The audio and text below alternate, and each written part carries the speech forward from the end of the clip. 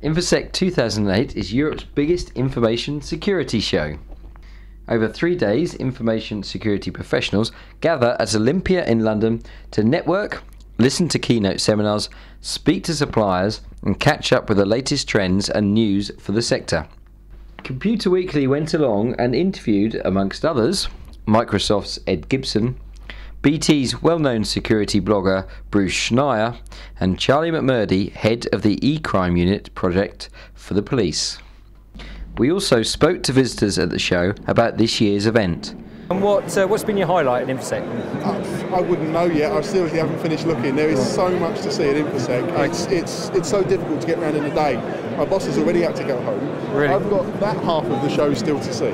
Wow. And I'm going to have to come back on Thursday and reschedule things to see the whole of it. Well, I've been coming here for a few years now, and I found that it's uh, to this year has been particularly good compared to last year. Last year, I must say, was quite disappointing. Okay, um, Uh, quality of exhibitors was a lot better, I think, this year. is it? And what's been your highlight then?